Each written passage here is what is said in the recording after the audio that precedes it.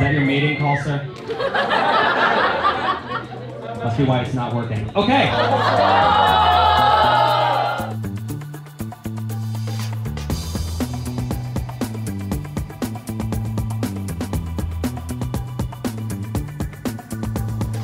Hey there, thanks for tuning in. This is another gig log on the Torgo Entertainment YouTube channel. I'm Torgo. Thanks for joining me. We have come to the end of April. It is still prom season.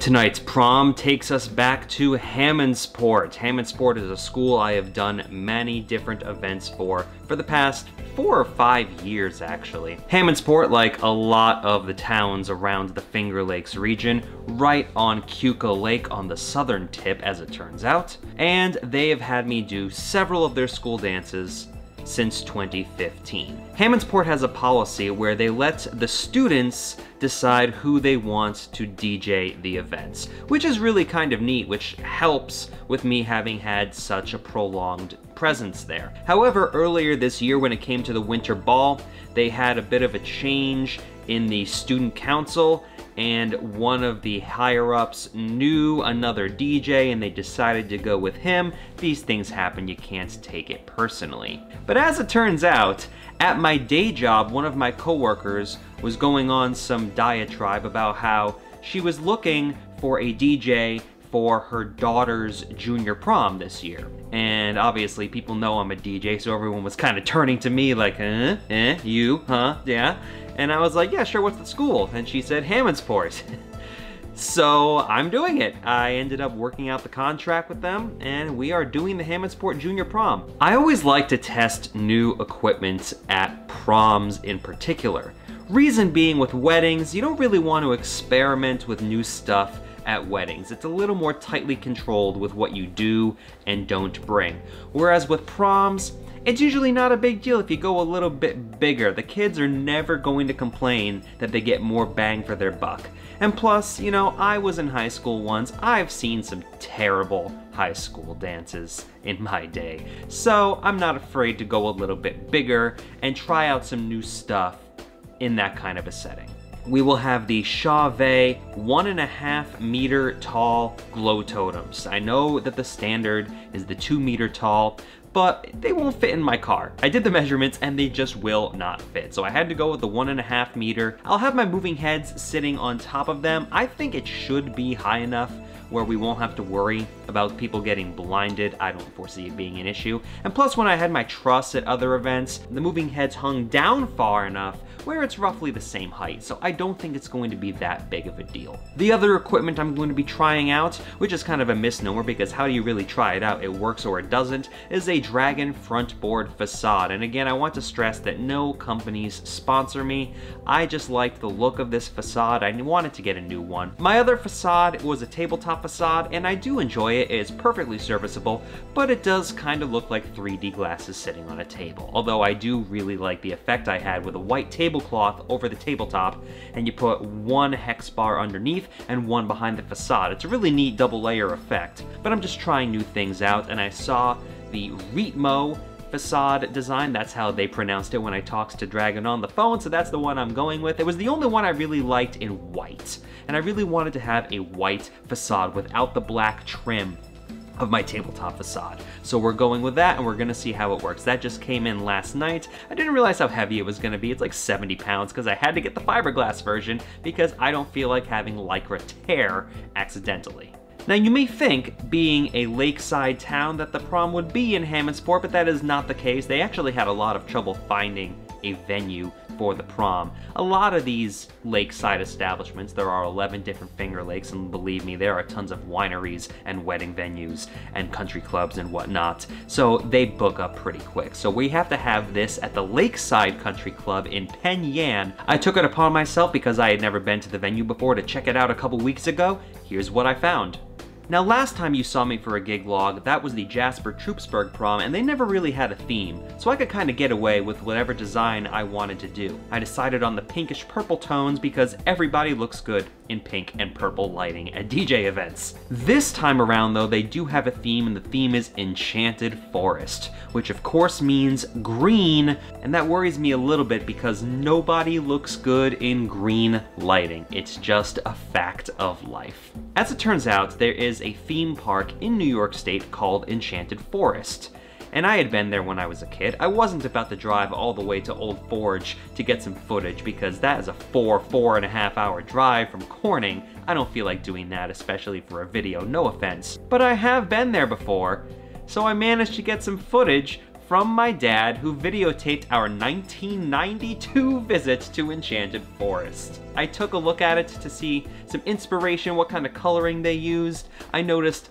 the hunter green, which I kind of expected to be everywhere, but I noticed a lot of pink as well, which I don't remember having, as well as a lot of light blue because it is a water park. This whole color palette is something you don't really see anymore. Everything is so bold and pops on the screen with your 1080p and your 4K.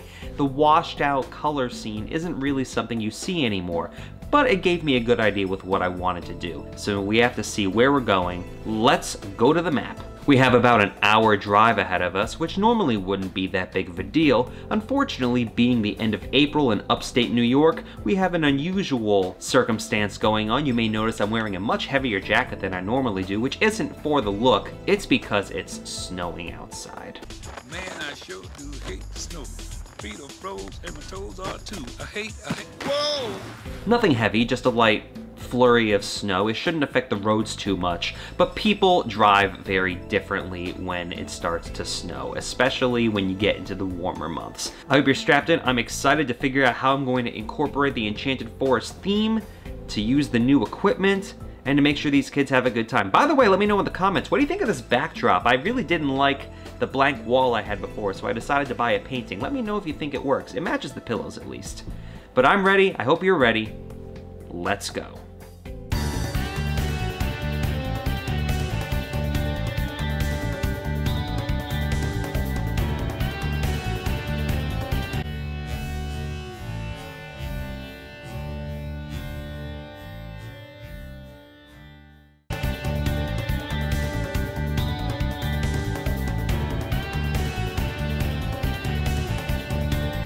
And here we have the setup for the prom. Here's the primary setup, but with the bar in the middle, we have to have our lighting completely separate. They are connected. It was a little annoying to deal with. We have the dragon board facade, the Reetmo pattern, the glow totems. The height ended up being fine. And we'll get a little bit closer. These are the ADJ light up speaker stands. I have them without a scrim on there just because the scrim made it look way too white and look like a wall. I have a bunch of stuff fastened. We have the receiver for the My DMX Go. We have the ADJ power bars. I love these things. I just got them. Having the power up and out of the floor area makes life easier. Yes, I'm still managing cables. The Pocket Pros, which are workhorses. I don't need anything larger because the hall is so shallow. Coming back behind the booth, you can see in the distance the light tree will get there. We have my Samsung laptop with Virtual DJ. I know, come at me. The Pioneer mixing board that is. Ah, uh, you know what that is. And you can see we have the ADJ Hex Bar 9s, two of them lighting up the facade underneath. The 12s are a little too long, the 6s are a little too short, and I don't own 6s. Looking in the distance, let me hit the zoom feature to show you these trees, just some standard light trees. We have a stinger dangling from the bottom. We have the Royal Galaxian and the Galaxian 2 lasers, and we have eight of the Mega Hexpars up top. Like I said, I'm still working on getting the cabling done. I just needed to have the time to film this.